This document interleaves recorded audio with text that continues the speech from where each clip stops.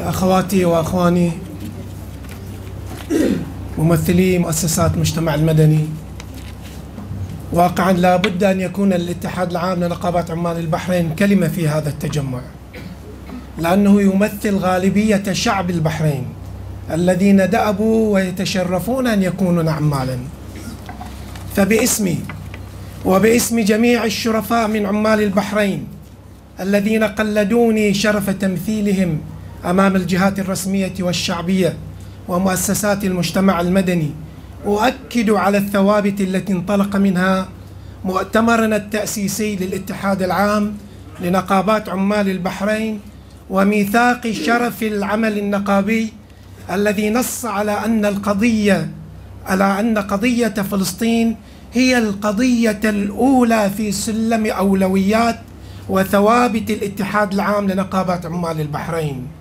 وأن حق شعبها في دولة مستقلة عاصمتها القدس الشريف هو حق أصيل لا يمكن لأحد مهما امتلك من الغلبة والقوة أن يغيره وذلك أن نواميس هذا الكون هي الأخرى غير قابلة للتغيير فالحق واحد وواضح وثابت والباطل متعدد ومتلجلج ومظلم مهما حاول البعض تلميعه أو تطبيعه.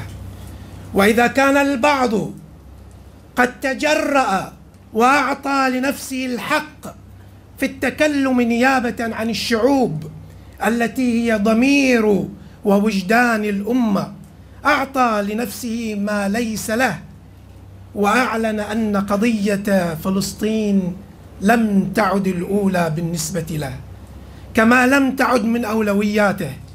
فها نحن هنا نؤكد ونقول وليسمعنا كل العالم من شرقه إلى غربه أن فلسطين ستبقى كانت وستبقى أو قضيتنا الأولى ضميرنا النابض بالحق والراية الخافقة التي نجتمع حولها كأمة عربية وإسلامية وأن وعد الله لا محالة واقع.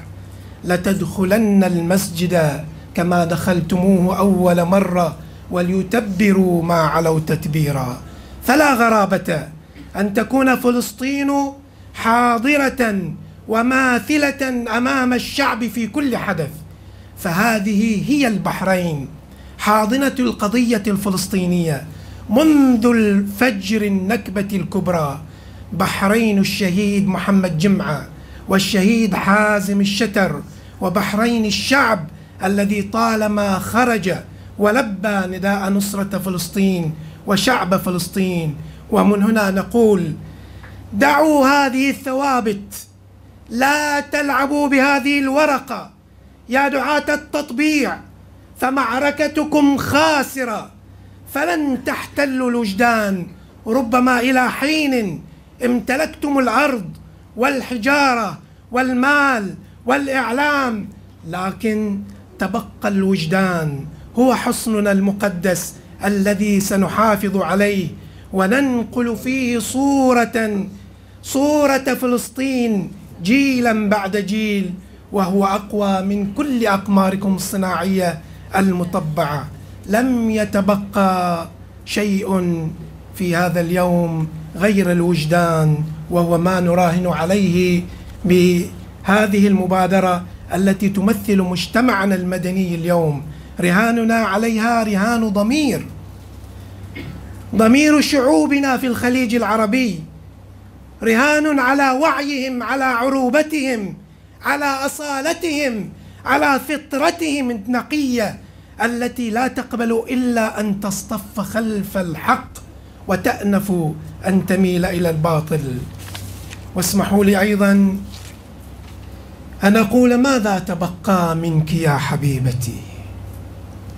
ماذا تبقى منك يا حبيبتي يا شهقة لما تزل تشق لبة مهجتي؟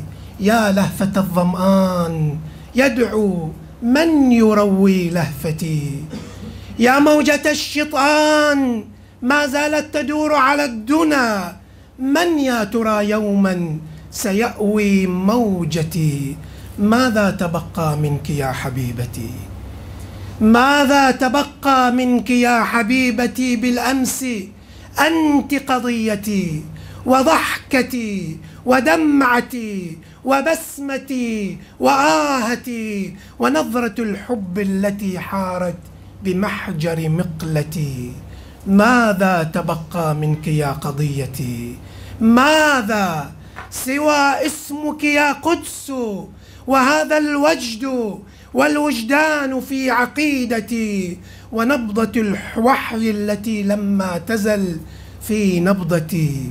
في دمعتي في صرختي في زفرتي في شهقتي وفي ضميري أنت أنت قضيتي. والسلام عليكم ورحمة الله.